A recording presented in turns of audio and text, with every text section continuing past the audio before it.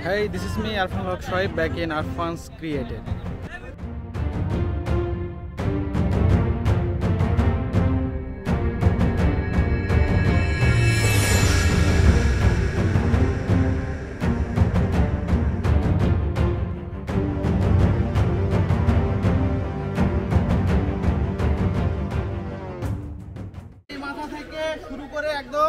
শেষ মাথা পর্যন্ত গোটাটা যতটুকু আমরা পারি পরিষ্কার করে আমরা ডাস্টবিনে রাখব। আর আমরা আজকে পরিষ্কার করলাম। করার পরে কাল থেকে যদি আমরা ডাস্টবিন না ইউজ করে যেখানে সেখানে ময়লা ফেলি, তাহলে আমাদের কথা কি মানুষ শুনবে? তাহলে আমাদের পরিষ্কার করতে হবে, পাশাপাশি কি মানুষকে সচেতন করতে হবে, জানো? সবাইকে বলতে হবে, অনেকেই আমরা কিন্তু অভ্যস্ত না। অভ্যস্ত কি আমরা ডাস্টবিনে বা নির্দিষ্ট জায়গায় ময়লা ফেলি আমরা? তাহলে আম- আমরা আমরা যখন পরিষ্কার করব, তারপর মানুষকে কি সচেতন করব? তারা যেন যেখানে সেখানে ময়লা না ফেলে। তোমার সামনে কেউ ময়লা যদি ফেলে বাজারে দেখো, তাহলে কি বলবা যে, ভাইয়া বা আঙ্কেল এই যে ডাস্টবিন রাখা আছে, এখানে না ফেলে ডাস্টবিনে রাখবেন। ঠিক আছে? তাহলে আমাদের উদ্দেশ্য হচ্ছে শুধু পরিষ্কার, পরিচ্ছন্নতা আমরা নিজে করা না, মানুষকে কি সচেতন করা। ঠিক আছে? মনে থাকবে? তাহলে আমরা এই থেকে শুরু করব। একদম শেষ মাথা পর্যন্ত পরিষ্কার করব, ওকে?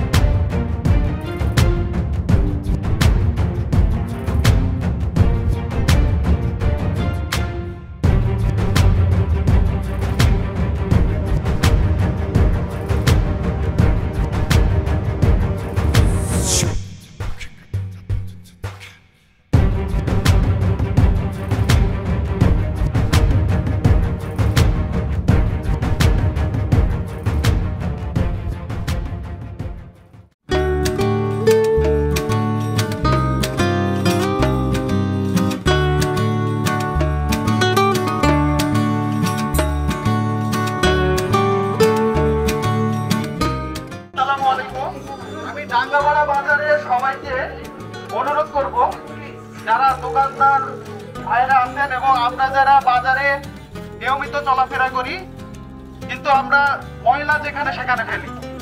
একটা কিছু, কোনো বিস্কিটের প্যাকেট বা কোনো একটা প্যাকেট খেয়ে আমরা খাওয়ার পরে প্যাকেটটা ওখানেই আমরা রাস্তায় ফেলে দিচ্ছি। তাই আমি সবাইকে অনুরোধ করব, আমরা ছাত্র সমাজে নতুন বাংলাদেশে, যে বাংলাদেশটাকে আমরা বলতেছি বাংলাদেশ টু পয়েন্ট ও, তো এই বাংলাদেশটা আমাদের ছাত্র সমাজকে গড়তে হবে। তো নতুন করে গড়তে হলে অবশ্যই আমাদের আপনারা দেখছেন যে গোটা বাংলাদেশে কিন্তু ছাত্র সমাজটা পরিষ্কার, পরিচ্ছন্নতার কাজে নেমেছে। তো সেই ইয়াতে আমরাও রাঙাপাড়া বাজারটাকে অনেক পরিষ্কার, পরিচ্ছন্ন রাখতে চাই। সেই জন্য আমরা ছাত্র সমাজ এবং পিপিলিকার পক্ষ থেকে আমরা আজকে পরিষ্কার, পরিচ্ছন্নতার পরিষ্কার করার জন্য বাজারে নেমেছি। এবং আমরা নির্দিষ্ট পয়েন্টে একটা করে ডাস্টবিন স্থাপন করতেছি। তো আজকে ছাত্র সমাজ পরিষ্কার করে দিয়ে যাচ্ছে তো আমাদেরও সতর্ক থাকতে হবে এবং সচেতন হতে হবে যারা আমরা যেখানে সেখানে ময়লা আবর্জনা না ফেলে নির্দিষ্ট জায়গায় ফেলি। নির্দিষ্ট জায়গা কোনটা? আমরা যেখানে ডাস্টবিন বিভিন্ন পয়েন্টে দিচ্ছি, সেই জায়গায় আমরা ইনশাল্লাহ এখন থেকে ময়লা আবর্জনা ফেলব। আমরা কোনো বিস্কিটের প্যাকেট বা আইসক্রিমের প্যাকেট বা কোনো একটা বোতল যেখানে সেখানে না ফেলে, এখন থেকে আমরা ইনশাল্লাহ ডাস্টবিনে ফেলব।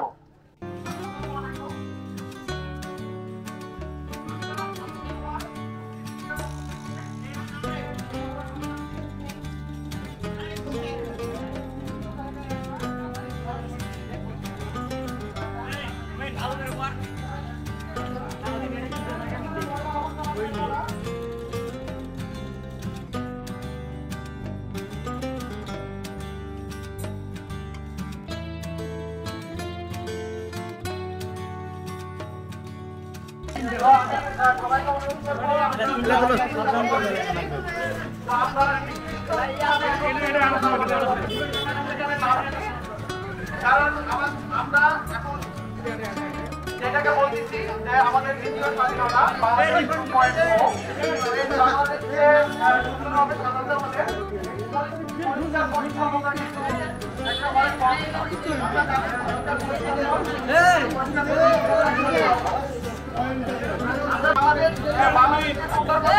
আমাদের সাধারণ মানুষকে সচেতন হতে হবে যেখানে সেখানে ময়লা আবর্জনা ফেলা যাবে না এজন্য আমি অনুরোধ করব সবাইকে বাজারের যারা দোকানদার আছেন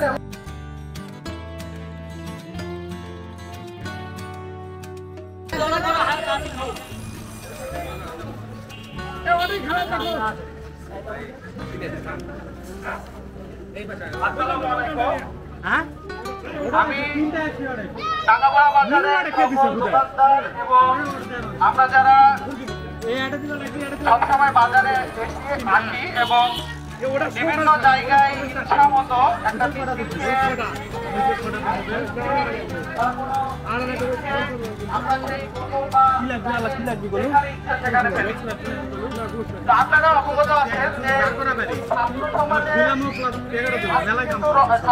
রক্তের বিনিময়ে দ্বিতীয় স্বাধীনতা অর্জন করেছে যেই সেটাকে আমরা কি বলতেছি বাংলাদেশ টু পয়েন্ট ও এজন্য আমি অনুরোধ করব যে ছাত্র সমাজের সাথে সাধারণ মানুষ মানুষকেও কিন্তু এগিয়ে আসতে হবে এই দেশটাকে নতুন ভাবে করার জন্য। তাই আমি অনুরোধ করব, আজকে পিপিলিকার পক্ষ থেকে আমরা ডাঙ্গাপাড়া বাজারের বিভিন্ন পয়েন্টে ডাস্টবিন স্থাপন করতেছি এবং আজকে ছাত্র সমাজ ডাঙ্গাপাড়া বাজারকে পরিষ্কার করার জন্য নেমেছে। তাই ছাত্র সমাজ আজকে পরিষ্কার করে দিয়ে যাবে, কিন্তু আপনাদেরও সতর্ক হতে হবে এবং সচেতন হতে হবে। দোকানদারদের আমি বলব, আপনার দোকান থেকে কোনো জিনিস ক্রয় করলে সেই প্যাকেটটা বলবেন যেন নির্দিষ্ট জায়গায় ফেলে। এবং আমি সাধারণ মানুষদের বলব, আপনারা এখন থেকে যেখানে সেখানে ময়লা ফেলবেন না। আমরা নির্দিষ্ট স্থানে ডাস্টবিন স্থাপন ডাস্টবিন স্থাপন করে দিচ্ছি এই জন্য আমরা এখন থেকে সবাই ডাস্টবিনে ময়লা আবর্জনা বা কোনো বোতল আমরা নির্দিষ্ট সেই ডাস্টবিনে ফেলব ইনশাআল্লাহ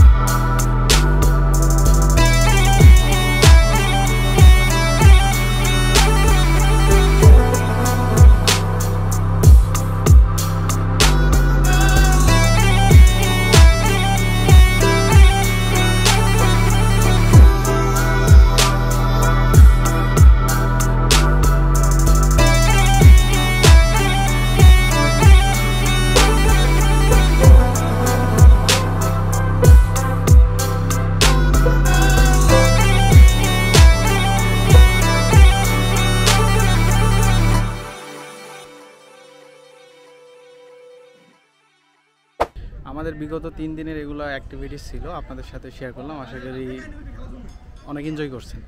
তো যাই হোক নেক্সট শুক্রবার থেকে আপনারা আমার রেগুলার যেগুলো ব্লগ ইনশাল্লাহ সেগুলো দেখতে পাবেন আর আমি একুশ বা বাইশ তারিখে সিলেট যাচ্ছি, সেখানকার ব্লগগুলো আমি মাঝে মাঝে আমি দেওয়ার চেষ্টা করব।